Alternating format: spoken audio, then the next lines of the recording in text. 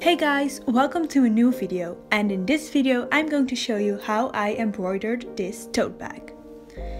So this is part 1 of this mini series where I show you how I embroidered this because if I put it all in one video it would be a little long so I decided to split it into two parts, one where I show how I made the flowers and one how I show how I made the leaves. In this part I'm showing the flowers. So I'm showing how to make these little roses. I'm showing one technique to make all these other flowers. It's really easy. I'm also showing how I made the inside of the sunflower and how I made these little flowers. So let's get into the video. I started by just roughly sketching out where I wanted everything to be and then I started on the sunflowers. So I pulled the string in from the back and then I'm going back into the fabric where I pulled my string out, so in the bottom of the petal and I'm pulling the needle through the fabric to the top of the petal, then I'm pulling it through. I'm just making the loop a little bit smaller and then I am pulling my needle through the loop and when I pull that you are left with a little petal. So to secure it you just uh, go to the fabric again at the top of the petal and you go back down to the bottom of the next petal and then you can just repeat those same steps for all the petals. It is actually a really easy technique and you can use it for so many things. So I really uh, would recommend learning this technique as one of the first if you're just starting embroidery.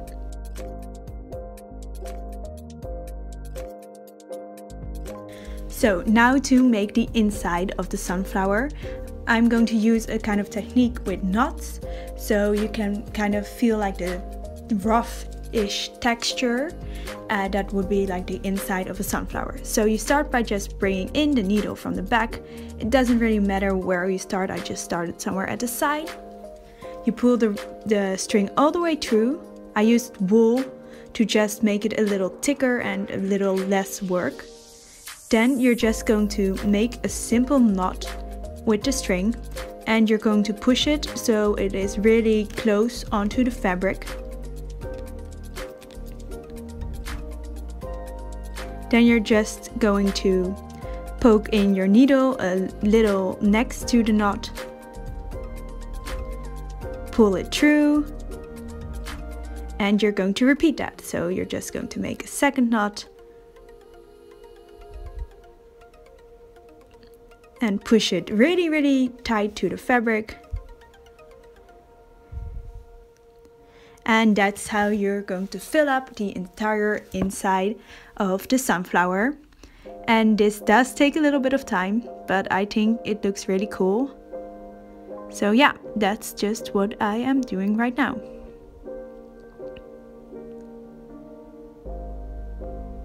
Sometimes I decided to do a double knot if the knot turned out a little bit smaller and I just didn't really have a plan, I just tried to fill it all up.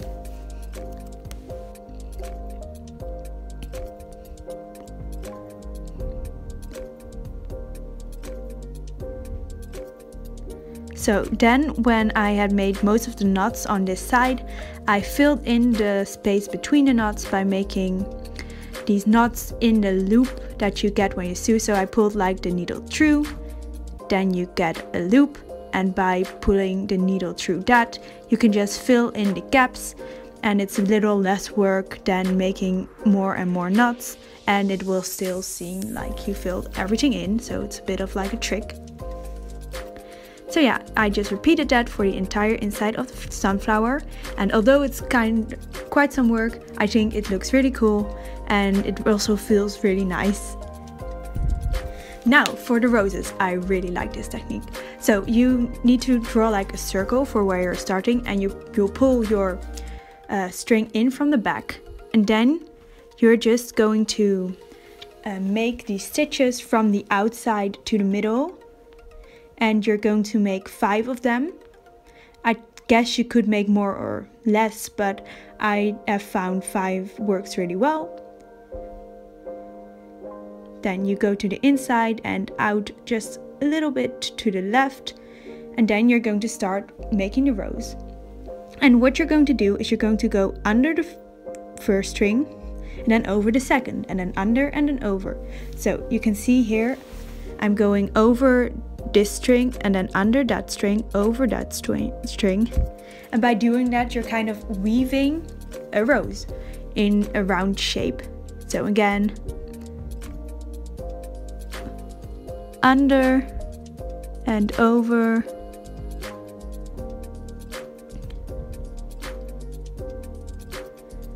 and under and over and just repeating that. And it's really satisfying to do because you can just show, slowly see the rows coming together. You don't really have to think. It isn't hard. You just need to make sure that you're not pulling the string too tight because otherwise you're going to get like a bit of a knot. You just need to slowly like lay the string in circles until the rose is completely filled up uh, till the edges of the strings and then you make a knot in the background I also made a little bit of a smaller rose next to the big one in just a slightly different color and I think that looks pretty cool. You need to keep in mind though that it the rose is always going to be a little smaller than your original circle, so dr draw them a little bit bigger than you actually want the rose to be. But I think these roses are really nice. Okay, now for the third flowers, I am actually going to use almost the same technique as for the sunflowers. The only difference is that you won't uh, be sticking the needle into the exact, exact same hole as it came out, but a little bit to the right in this case.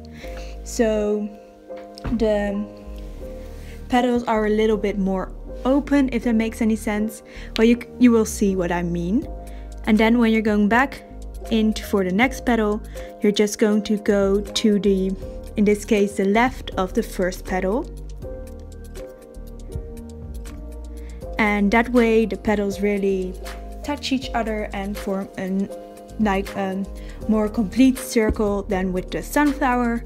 And because the like the middle of the flower was a lot smaller here I think that looks better uh, if you do this technique than if you would like close them at the bottom.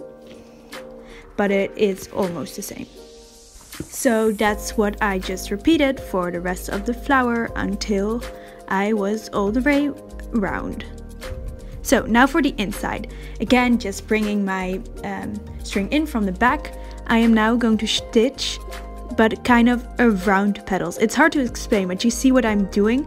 I'm kind of um, bringing the string underneath the stitches of the first petal. And then stitching back um, over the pe first petal and by repeating that I am just creating a little circle that is completely around the petals so it seems like they're coming out uh, behind the circle if that makes any sense.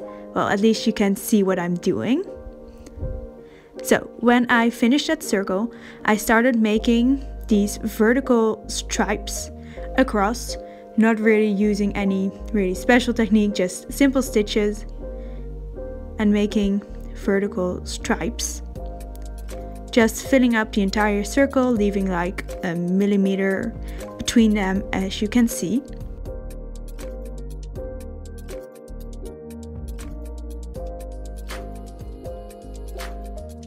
Then when I had filled that up, I started making horizontal stripes and weaving. So going over, under, over, under the vertical stripes. As you can see, and then I'm just going in back the other way around again over under over under and I think this uh, creates this really cool like beehive-ish pattern I'm that's probably not what it's called but I it reminds me of like the bees and I think it looks really cool but it was kind of hard sometimes to do it because it was a really small surface but it also meant it didn't take really long and I think this is another nice technique to make the inside of a flower. So, For these flowers, for the inside, I am just using a really simple technique, just a backstitch, which, which means you pull it through, then go back to the like the opening and then pull it through again. And I just did that in a little circle all around.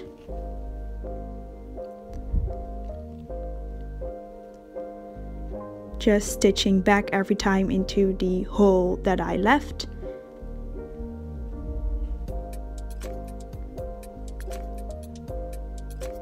And then when I had finished the first circle, I made another circle inside of that and I left a hole where you could see the fabric in the middle because I thought that looked cool. Now I am starting on the petals and it is almost the same technique as with the sunflower. Again, I mean, like I told you, this technique can be used for so many things, but it's a little different because this time you just, it starts the same by just pulling it through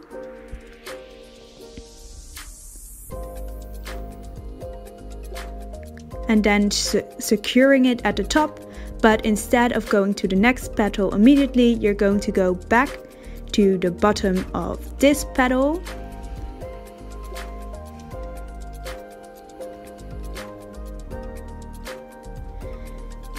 And then you're going to stitch again um, on top of the petal just to the top again. And by doing this you just make the petal a little bit fuller and I think this especially looks really nice on these really small petals like I'm doing here. And uh, then you can just go to the bottom of the second petal just with, just like with the first method. I'm having a really hard time putting the needle through here. Ah. But by doing this you just make really full little tiny petals that don't have a hole in them uh, which the sunflower does have. And I think both of the techniques look really cool. But for this flower I decided to go with this one and here I'm just repeating those the same steps.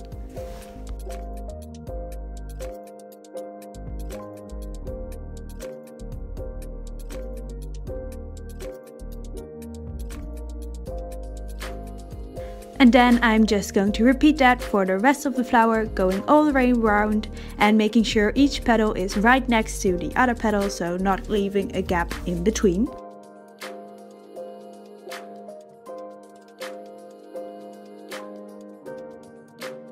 Then when the first round was done, I went in with a darker blue and just did use the exact same method and just made a little petal between each two light blue petals to create another layer of petals and I think this looks really cool. And I repeated the same with a purple flower just the exact same method but just with a light and dark purple, which I think looks really cool as well.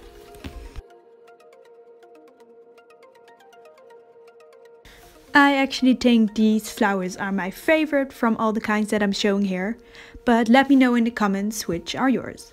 So for these last little flowers, I am actually using the same method as the sunflowers again, but in, instead of going next to the last petal you're just uh, going to make them from the same inside. So the you're all make, making all the petals starting from one inside.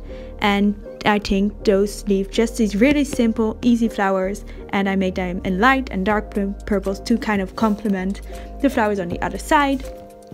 But yeah I think these all look really cool. And I think it's pretty amazing that you can make them all with just such simple techniques Anyways, thank you so much for watching this video. I hope you enjoyed. I'll link the second part up above so you can watch that too. And please consider subscribing. Bye!